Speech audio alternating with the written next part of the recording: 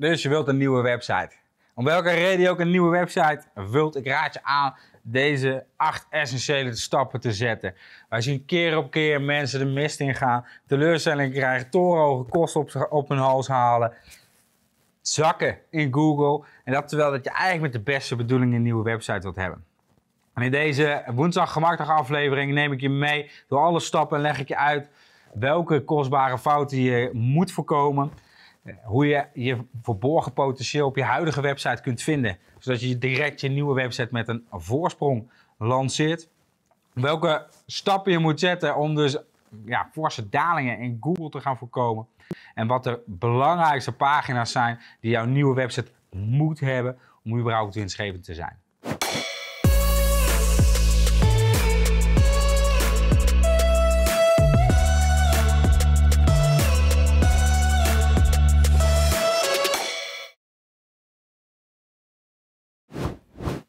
Stap 1 van het maken van een nieuwe website is dus eigenlijk nog helemaal niet het beginnen met het maken, maar is het inventariseren van je huidige website.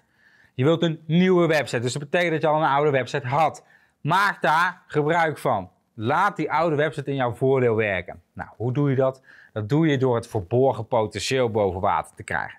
Als je eerdere woensdag gemakkelijk afleveringen hebt gezien, weet je exact hoe je deze stappen zet en waar jij het verborgen potentieel kunt vinden. Mocht je dat nog niet zijn, zorg dat je geabonneerd bent op dit kanaal, zodat je geen enkele aflevering meer mist. Hoe vind je dan het verborgen potentieel? Dat kun je doen door in Google Analytics op gedrag, site content en dan bestemmingspagina's te klikken. Je krijgt dan een compleet overzicht van eigenlijk alle pagina's waarop geland wordt. Dus je landingspagina's. Het zijn de pagina's waarbij je bezoeker als eerste in contact met jou is gekomen. Dus ik heb gegoogeld, ik zie op Facebook iets, ik zie op LinkedIn iets en pats, ik kom op jouw website. Al deze bestemmingspagina's dien je te exporteren en vervolgens te categoriseren in drie categorieën. Je hebt de verkopers, de ondersteuners en de marketeers. De marketeers zijn dus de pagina's die veel bezoekers trekken. Ze leveren niet direct veel omzet op, maar het zijn wel de pagina's met heel veel sessies. Weergaves. Dan heb je de ondersteunende pagina's.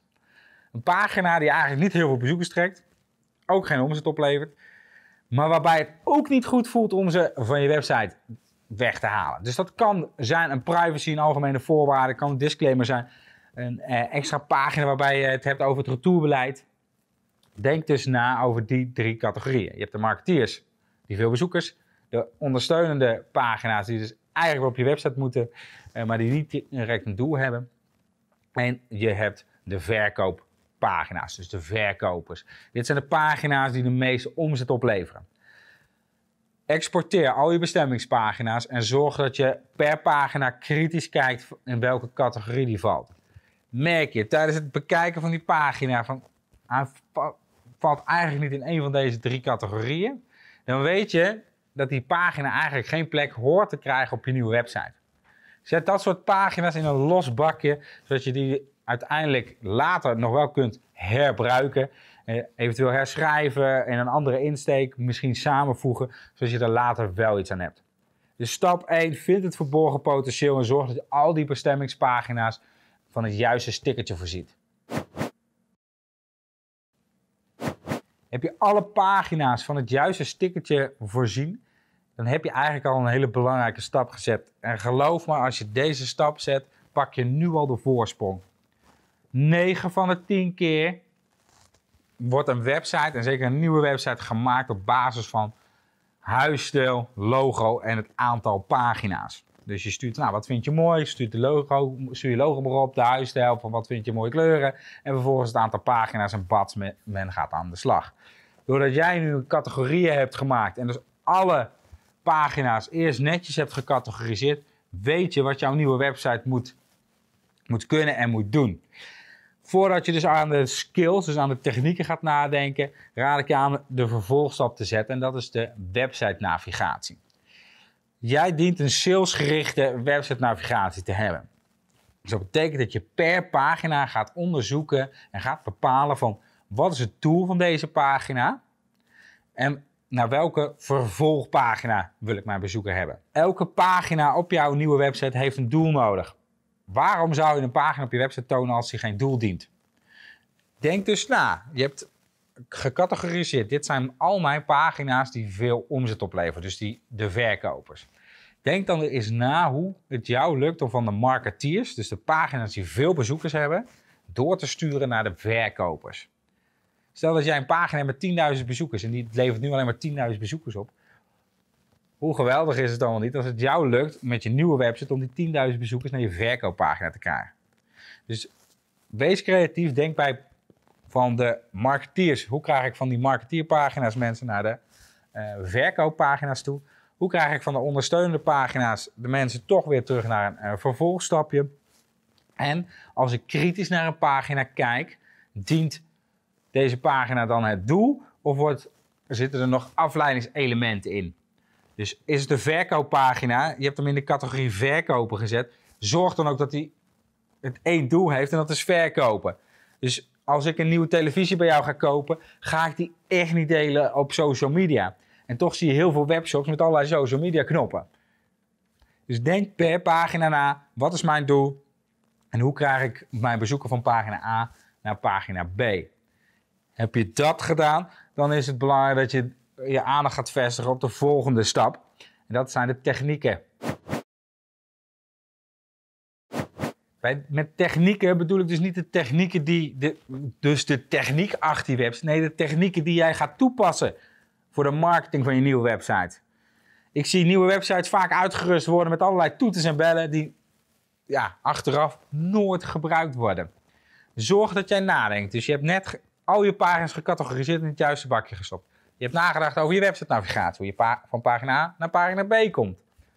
Denk dan vervolgens na, welke technieken moet mijn website kunnen, dus welke skills heeft mijn website nodig, om dus mijn strategie te kunnen volgen. Dus om mensen van plek A naar plek B te krijgen. Misschien wil je daarvoor wel uh, met conditionele logica werken. Dus als iemand uh, googelt op, uh, ik noem maar wat, Google Ads hulp, dat op die pagina dan ook Google Ads hulp komt te staan. Of dat als jij een webshop hebt en ik kom op jouw website en ik heb al vijf paar schoenen gekocht bij jou, eh, dat ik dan een unieke bonus eh, krijg of een kortingscode of iets dergelijks. Of jij wilt je nieuwsbrief promoten.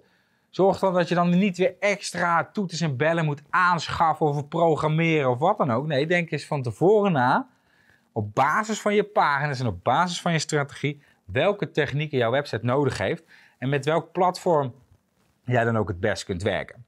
Nou, maak je gebruik van webnemen, dan weet je dat jouw website alles kan. Eh, je hoeft het maar in principe te vragen en 9 van de 10 keer staat er al een module voor je klaar, waarbij je alleen nog maar het naartoe hoeft te slepen en pats, je hebt van eens een pop-up voor je nieuwsbrief. Hoppakee, je hebt meteen een eh, vacature of sollicitatieformulier. Nou, dat zijn systemen en webnemen is natuurlijk niet de enige. In onze ogen natuurlijk wel de beste, maar er zijn talloze van dit soort platformen. Dus onderzoek dat soort platformen, maak een bewuste keuze en durf ook te focussen op één platform en bouw daar je nieuwe website op. Zodat je zeker weet dat je ook gewoon de komende jaren eh, nog met je nieuwe website vooruit kunt. Je hebt nu nagedacht over de technieken, dus de skills van je website. Denk nu eens na. Dus naast de skills heb je dus ook je navigatie, en de categoriepagina's, dus die pagina's gecategoriseerd. Denk nu eens na over de vijf belangrijkste pagina's. Die vijf belangrijkste pagina's, soort pagina's, zijn natuurlijk je homepage. Op je homepage denk je dus na van, ik heb alle technieken, wat, hoe, hoe kan ik die gebruiken op mijn homepage? Wat is het doel van mijn homepage en hoe krijg ik mijn bezoekers naar de juiste pagina? Jouw homepage is niets meer dan een binnenkomen. Dus het is eigenlijk, ik kom binnen op jouw winkel hoe krijg je mij dan naar het juiste schap toe? Dan heb je de over ons pagina. De over ons pagina is bedoeld om twijfelende bezoekers overstag te krijgen. Jouw over ons pagina gaat dan ook niet over jou, maar over mij. Dus wie zijn jullie en what's in it for me?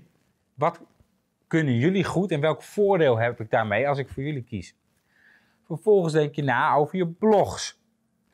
Je blog zijn ondersteunende pagina's. Zijn pagina's die bedoeld zijn om extra bezoekers te trekken, extra vertrouwen uh, op het werken te werken aan je branding, etc. Dan heb je natuurlijk nog je contactpagina. Contactpagina is gewoon zo snel mogelijk contact opnemen. Je hebt, hiervoor heb je al enigszins nagedacht over de technieken. Bekijk als je deze vier belangrijke pagina's hebt bekeken, of dat er nog extra technieken nodig zijn.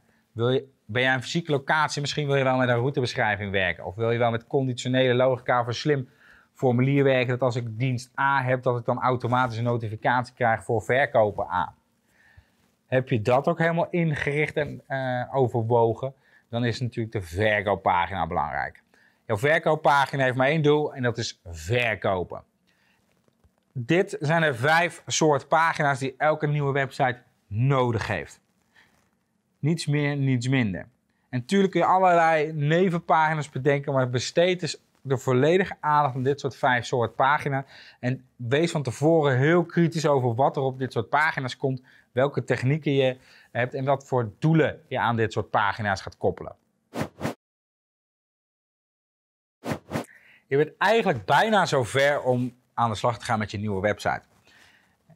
Ik durf je nu al te beloven dat doordat je deze stappen hebt doorlopen, je eigenlijk nu al een voorsprong pakt op je concurrent. Want geloof me, 9 van de 10 keer worden deze belangrijke stappen overgeslagen. Twee andere stappen die ik je nog aanraad om te maken zijn het voorkomen van forse dalingen in Google.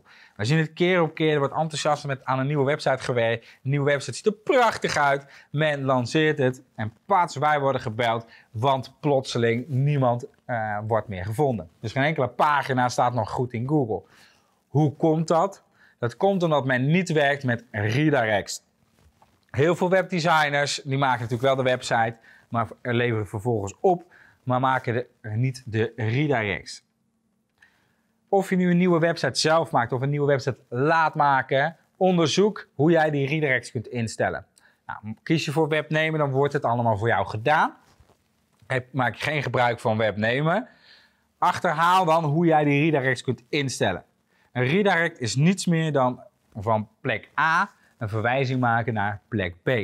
Dus stel je op jouw oude website, kom ik naar jouw website.nl pagina A. Maar goed, op jouw nieuwe website heet het niet meer pagina A, maar pagina A2.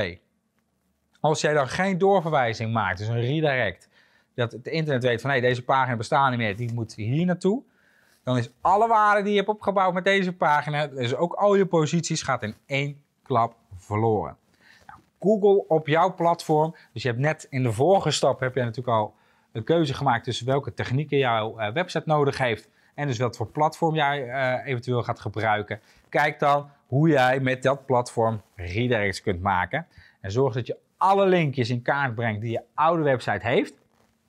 Zodat je per linkje kunt bepalen naar welke nieuwe pagina deze doorverwezen moet worden. Heb je dat gedaan, dan raad ik je aan nog een één stap te zetten voordat je deze video afsluit. Of voordat je aan de slag gaat. En dat is het voorkomen van keyword cannibalization. Nou, heb je andere woensdag gemakdag afleveringen gezien, dan weet je wat uh, keyword cannibalization is. En keyword cannibalization is eigenlijk dat als jij niet goed oplet en luk raakt, dus optimaliseert op dezelfde zoekwoorden, je eigenlijk jezelf opeet. Dus je eet je eigen posities op. Nou, ik duid er niet te veel in, omdat ik daar een hele woensdag gemakdag aflevering al aan heb besteed. Mocht je die gemist hebben, zoek hem even op in uh, YouTube. Klik ergens op de link in de uh, reacties. Maar waar het eigenlijk op, uh, op neerkomt, is dat jij met te veel verschillende pagina's op hetzelfde zoekwoord aast. Waardoor Google dus niet meer weet, hey, waarom bekijk, moet ik de, welke pagina past nu bij welk zoekwoord. Nou, om dit helemaal te voorkomen, raad ik aan om die video te bekijken. Vind je dit überhaupt interessante materie? Heb je wat gehad aan deze tips? Heb je vragen of wil je gewoon wat van je laten horen? Laat het weten in de reacties. Heb je suggestie voor de volgende woensdag gemakdag aflevering? Laat ook wat van je horen. En dan zie ik je bij de volgende aflevering. Oh, trouwens, voordat je weggaat. Eh, ik heb ook nog een checklist voor je. Die je gratis kunt downloaden op de website. Kijk ook even in het linkje in de YouTube omschrijving. Wat geven we weg in deze checklist? Een checklist met stappenplan, waarvan jij alleen maar hoeft aan te vinken of dat je alle stappen netjes hebt doorlopen, om dus forse kosten te besparen, technische problemen op je hals te halen, beveiligingsrisico's te lopen, etc. Het is een complete checklist die wij ook gebruiken voordat wij een nieuwe webnemer of een website lanceren. En die jou gegarandeerd helpt om niets over het hoofd te zien. Dus ik raad je aan, klik even ergens op de link hieronder of misschien een pop-upje in de video, zodat je deze checklist ook kunt downloaden. Dan zie ik je bij de volgende aflevering.